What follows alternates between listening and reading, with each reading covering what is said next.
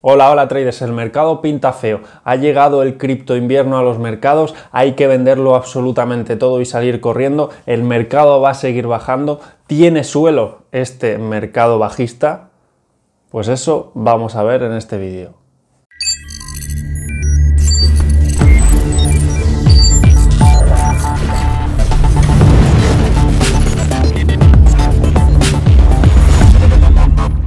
Para responder a esta pregunta hay que mirar cuál es la situación tanto técnica como macroeconómica y que puede afectar a los mercados. Tenemos por un lado la situación macroeconómica, la posible guerra entre Ucrania y Rusia, aumentan las tensiones entre estos dos países y por como, consecuencia eh, Europa y Estados Unidos y posiblemente Rusia y China. Ahí hay una tensión latente. También tenemos unos altos niveles de inflación y como consecuencia los bancos centrales tratan de frenar esta inflación con una subida de tipos que puede afectar negativamente obviamente a los activos de alto riesgo, como son las criptomonedas y el mercado de renta variable. Además, desde el punto de vista técnico, llevamos un 2021 que la bolsa y las criptomonedas no han parado de subir y las pocas correcciones que ha habido eran simplemente descansos para seguir subiendo. Obviamente, estos excesos tienen que depurarse y ahora mismo estamos viendo esas consecuencias. Lo que debemos hacernos como gestores del riesgo y como traders es posicionarnos en aquellos activos que confiamos de cara al futuro y además presentan a nivel técnico una estructura no tan negativa. Y esto ya veníamos avisándolo desde diciembre, que hay criptomonedas que presentaban una estructura muy negativa y convenía ir soltando posiciones o definitivamente no estar posicionado dentro de ellas. Sin embargo, había otras que tenían una mejor pinta. Ahora mismo el mercado todo el mercado está absolutamente en rojo y cuesta localizar esas eh, criptomonedas, esos mercados que puedan tener una mejor pinta y un mejor desempeño durante este 2022. Pues en eso me voy a centrar en este vídeo. Vamos al ordenador y os lo cuento. Bueno, voy a analizar las criptomonedas que tienen un mejor comportamiento y aquellas que tienen un comportamiento más débil. Y antes vamos a echar un vistazo a Bitcoin porque eh, en función de lo que haga Bitcoin obviamente el mercado cripto se va a ver beneficiado o perjudicado. Eh, inicialmente decíamos en vídeos anteriores que aparte de que se había producido el cruce de la muerte y cuando el, cruce de la muerte se producía y veníamos de tocar máximos históricos, pues no pintaba nada bien y podía ser el inicio de una tendencia bajista. Y puedes decir, sí, pero es que en análisis anteriores habías dicho que todo esto eran zonas de compras, obviamente porque la estructura era alcista.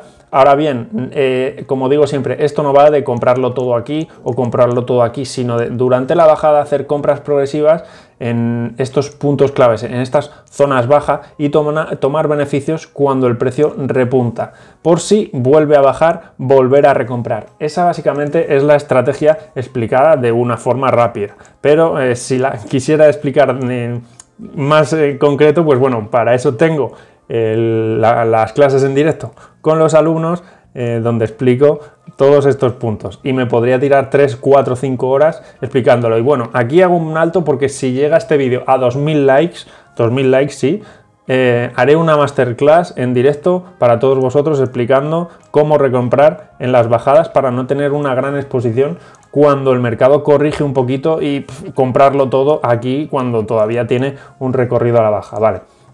Bueno, decíamos en, directo, en el directo que hice hace un par de días que para ver un repunte en Bitcoin primero necesitaba ver eh, que en la línea directriz del RSI la quebrase, que hubiese una divergencia em, alcista y que el precio no em, superase la directriz eh, y siguiese formando esta cuña. ¿Se ha producido algo de eso? No, obviamente no. Yo iba a comprar si veía este, esta rotura dentro de la directriz de RSI y me iba a posicionar alcista en Bitcoin, iba a comprar más con vistas a la zona pivote, a vender en la zona pivote de 46.000. ¿Se ha producido eso? Pues obviamente no, y yo no compré. Y tenemos que ser como un algoritmo.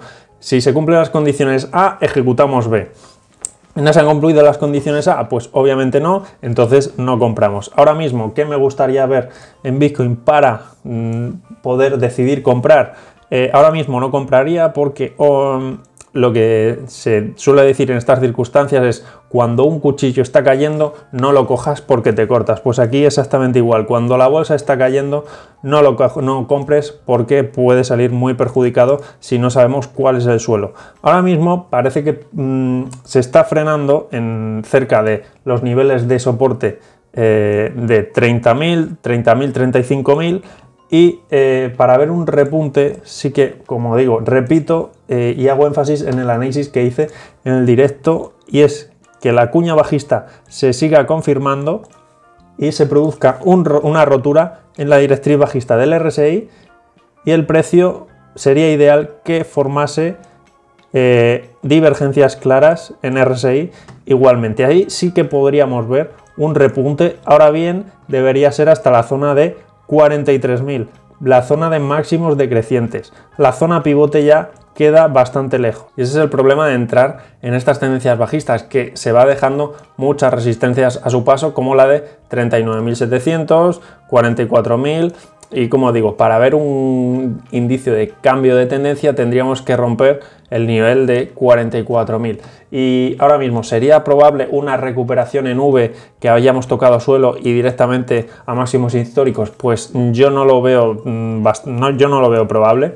Veo probable más bien una consolidación bajista y ir poco a poco rompiendo estos niveles que se vaya dejando, porque el principal motivo para ver una recuperación en V es que el mercado y el sentimiento del inversor sea positivo y que precisamente el inversor tenga dinero. Y eh, esta recuperación en V que se vio, por ejemplo, en marzo de 2020 a causa de la crisis sanitaria, se produjo principalmente porque eh, los bancos centrales mandaron estímulos directos a la economía, a las familias, a las personas. Y esas personas sí son libres de luego esos estímulos, ese dinero, utilizarlo en lo que ellos quieran. Y mucha, gran parte de ese dinero fue directo a activos de alto riesgo, como la bolsa americana, eh, las criptomonedas y eh, hemos entrado en este ciclo vicioso de excesos que obviamente se tiene que depurar. Ahora bien, ¿esto significa que no hay que comprar? Pues obviamente no, pero hay que tener claro el análisis y tener un plan.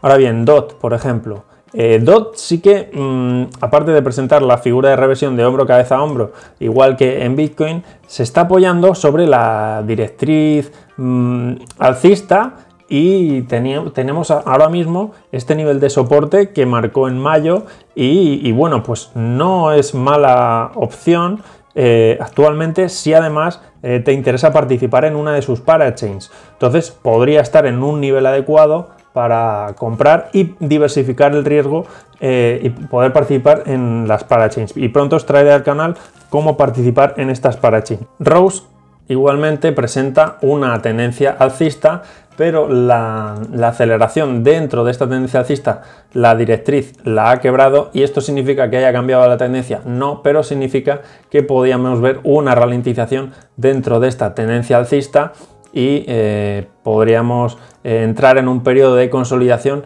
que durase varias, varias semanas, siempre que no rompa el nivel de 0.25 donde yo tengo colocado mi stop y aquí mm, cortaría posiciones porque significa que Rose podría entrar en un camino muy feo. Ahora bien, hay que tener cuidado con esta zona de resistencia en la zona de 45.000 por si el precio después de respetar eh, esta directriz que nos viene acompañando, fijaos prácticamente desde inicio de Rose, una directriz muy importante que probablemente no consiga romper o le cueste mucho romper, pues de aquí si vemos un repunte hasta la zona de 45.000 habría que vigilar mucho esta resistencia para evitar eh, y controlar que no se forme un patrón de reversión de hombro cabeza a hombro eh, y esto hay que tenerlo presente. Probablemente si repunta aquí arriba aparte de los rows que yo tengo en, este, el staking, em, porque hay un staking de rows activo, em, que también os traeré al canal próximamente,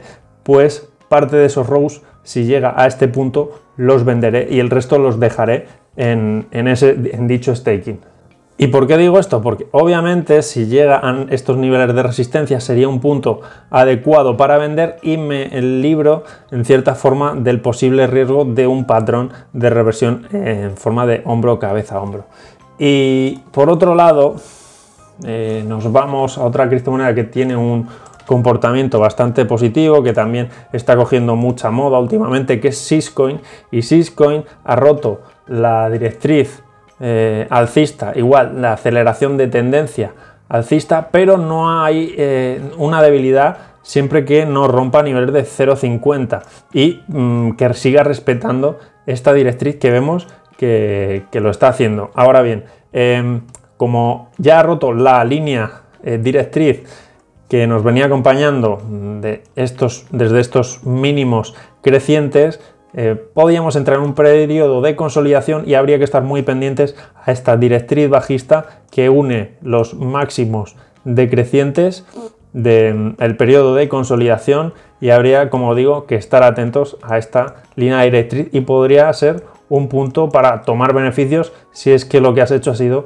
comprar en estos niveles. Y ahora vamos a otra cripto que me habéis pedido mucho, que es FTM, y tenemos un doble techo en la zona de 3,4 máximos históricos que se nos activaría si rompe 1,40. Eh, zona de stop loss colocada por aquí abajo y habría que vigilar este nivel mientras no rompa este nivel y no rompa esta línea directriz, pues no soltaría posiciones. Podría ser actualmente un punto adecuado para comprar. Aquí sí, podría considerar un punto adecuado muy cerca de la directriz, cerca de la media de 200, respetando nivel de 61.8 FIBO. Podríamos esperar, como digo, un repunte quizá en las próximas horas y si lo que te interesa es este proyecto, pues puede presentar una buena oportunidad pero como siempre mucho cuidado, mucha cautela y stop loss ajustados y vigilar este nivel de soporte porque si lo rompe perdería estructura eh, y el, doble techo pues se habría activado y podríamos ver cómo FTM podría irse a niveles eh, quizá por debajo del dólar. Pero bueno, eh, de, momento, de momento no pinta mal. Y ahora me voy a Cardano que presenta una estructura muy interesante. Fijaos en esta vela eh, de rechazo al nivel de un dólar, podríamos ver en las siguientes horas un buen repunte. Además hay eh, eh, divergencias en RSI, directriz alcista en RSI, podríamos ver un repunte hasta la zona de 1.40, probablemente nivel de resistencia donde el precio respetó eh, anteriormente. Para un trade podría ser una buena posición, un stop loss colocado justo por debajo en la zona de 0.80, muy a vigilar, porque si lo rompe sería mm, fatal, sería terrible para eh, Cardano. Ahora, em, como digo, para un trade, pues eh, podría ser una buena posibilidad. Vamos con XS. XS no pinta nada bien. Si bien decía que podría estar un tiempo rangueando en torno a esta zona, pero eh, siempre que Bitcoin respetase. Bitcoin no ha respetado, se ha ido para abajo y XS obviamente igual. Yo que hice, como os comenté aquí, fui comprando durante la bajada y teniendo un precio promedio de 77 y conseguí vender todo, soltar mis posiciones en 82, porque veía una gran probabilidad de que el precio pudiese hacer todavía eh, un nuevo impulso mm, a la baja hasta niveles inferiores. Eh, niveles a vigilar, siguiente nivel, pues sería nivel de 40 y me gustaría ver para posicionarme un repunte, como digo, en, en, RSI, directriz eh, alcista, divergencias y que marcase algún doble suelo, figura de reversión, pero zona importante de 40 y no esperaría a XS eh, comprar en niveles superiores eh, a esta zona. Luego, por otro lado, también tenemos el SLP, que qué voy a decir del SLP. Eh, obviamente, pues malas noticias, una vez más, está a 0,01. y muchas veces me llegan, oye, que van a lanzar las batallas V3, conviene comprar SLP, no conviene comprar nunca SLP. Si tienes becas de Infinity, pues ir tomando beneficios parciales. Y, bueno, pues de momento tendencia bajista eh, pinta muy mal, es la, verdad. Pero bueno, eh, como os digo, yo no he vendido mis equipos de Axie Infinity porque me gusta eh, el juego y, sigo confiando en, en Axie en el largo plazo y quiero ser partícipe de, de, este juego. Ahora, Solana. Solana sí que pinta muy feo, pinta muy feo y nosotros teníamos posiciones eh, por aquí. Y vista la debilidad de la tendencia decidimos vender aquí arriba. Y como veis se ha acelerado la tendencia bajista. Siguiente nivel para ver una recuperación dentro de la tendencia 148, pero está muy complicado porque la estructura alcista se ha debilitado completamente y de momento parece no, no tener suelo. Y aquí sí que Solana em, pinta muy mal porque además ha tenido una nueva aceleración de tendencia bajista justo aquí. Fijaos. Nada, Solana es una de esas criptomonedas en las que no me gustaría estar y ya, está, ya estaba dando eh, indicios de debilidad eh, previos. Y BNB, una criptomoneda que igualmente no pinta muy bien eh, que está formando este, esta figura en el largo plazo, triángulo alcista, lo ha roto por abajo, si lo rompía por arriba podíamos ver cómo se podía ir incluso a los mil dólares, pero malas noticias que lo haya roto por abajo. Y para eh, buscar compras en BNB podríamos ver em, niveles de 200 entre 280 y 230 esta sería nuestra zona pivote para esperar al precio. Pues como veis, el mercado no está fácil, no pinta nada bien, pero esto significa que haya que venderlo todo. Lo he dicho antes, esto no es blanco o negro, no es vender todo o comprar todo, sino posicionarse, rebalancear la cartera y gestionar el riesgo de la mejor forma posible para hacer frente a esta tendencia, a este posible eh, mercado bajista que puede durar varios meses. ¿Y por qué digo esto? Porque obviamente si el mercado se recupera de una forma rápida, aunque ya os he dicho que es menos probable, pues estaríamos fuera. Si vendemos todo, estaríamos fuera y no veríamos mm, nada. De, tal forma que sería un error no haber em, participado de todo esto y aprovechado estas bajadas para comprar. Pero si compramos todo ahora y el mercado sigue bajando, pues nos quedaríamos sin liquidez para recomprar aún más abajo. Entonces hay que ir eh, comprando de forma progresiva en las bajadas, en rebalanceando nuestra cartera, mm, como os he dicho, en quitando aquellas posiciones que eh, tengan una peor estructura desde nivel técnico y posicionando en aquellas criptomonedas, en aquellos activos que presenten una estructura más positiva a largo plazo y que tengan un análisis tanto técnico como fundamental pues positivo, un buen análisis fundamental detrás de cada proyecto y además que te puedan dar un rendimiento por tener esas criptomonedas compradas. Por ejemplo, los stakings o las parachains de Polkadot, por ejemplo, son un ejemplo. No significa que tengas que comprar Rose, que tiene un staking bastante bueno, o Polkadot para participar en sus parachains. Son, eh, una vez más, os digo que son ejemplos. Y hasta aquí el vídeo, por favor dejadme un buen like si os he ayudado con este tipo de contenido y un comentario si quieres que siga hablando y tratando este tipo de análisis técnico, análisis fundamental, situación macroeconómica, situación de mercado y además quiero lanzar un mensaje aquí, una recomendación y esto sí que es una recomendación. Eh, que aprendas a gestionar el riesgo si has tenido ganancias durante el año anterior, 2021, y durante este mes se te han ido, pues obviamente eso es a causa de una mala gestión del riesgo. Porque tener pérdidas cuando el mercado es bajista es normal. Lo que no eh, es adecuado es que si has tenido unas grandes ganancias es eh, que no hayas sabido gestionarlas para que cuando llegue ese mercado bajista, que siempre llega, pues que no se te vayan. Y en la mayoría de casos esto se da por una falta de formación hacia el mercado cripto, hacia las inversiones en general. Así que mi mensaje desde aquí es que con este mercado bajista aprendas de los errores y no huyas como haría un cobarde. Em, que pierde dinero, se va del mercado, dice que esto es una estafa, es un scam, está manipulado.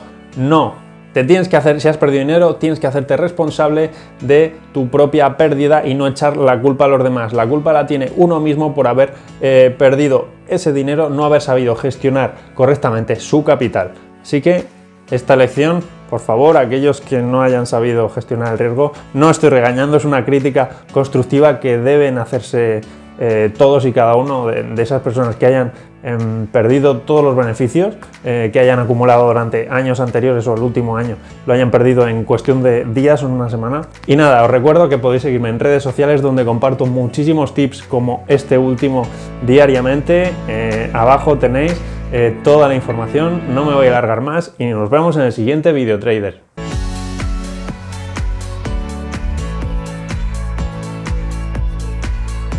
Ahora voy a hacer de padre y quiero lanzar un mensaje a todos aquellos que cuando el mercado sube, oh, hay que comprar, que el mercado está subiendo, y cuando baja, pero ¿qué hacemos? Eh? Hay que vender. ¿Qué, qué, qué, qué pasa? ¿Que aquí tú compras cuando el mercado sube y vendes cuando baja? O sea, Buena estrategia, coleguita, buena estrategia. No, eso no va de comprar arriba y vender abajo, es completamente al revés. Compra cuando los demás tienen miedo y vende cuando eh, los demás son avariciosos. En eso consiste. Es muy fácil, pero ¿cuál es el problema? Que si haces caso del vecino de turno o de tu amigo porque ha comprado criptomonedas y por envidia en muchos casos, dices, oh, es que ha ganado dinero y yo me estoy aquí como un tonto perdiéndome la fiesta. Pues mejor perderse la fiesta, porque en muchos casos esa fiesta acaba con gente en el hospital por coma etílico. Y eso, mm, trasladado a los mercados, significa personas que se lo han pasado muy bien en un inicio, pero que luego obviamente lo pierden, pues pierden hasta los calzoncillos. Así que mi consejo es que no te guíes por las decisiones que puedas escuchar de tu amigo o de cualquier creador de contenido y te formes para tomar tus propias decisiones de compra y de venta y ya está, y a lo mejor alguno se ofende y se, se sale de este canal. Pero me da absolutamente igual, porque yo quiero formar una comunidad de personas conscientes y que sepan dónde están invirtiendo su dinero y que no eh, tomen mis análisis como decisiones de compra o de venta, sino como una forma de aprender a manejar el riesgo e invertir dentro de los mercados financieros.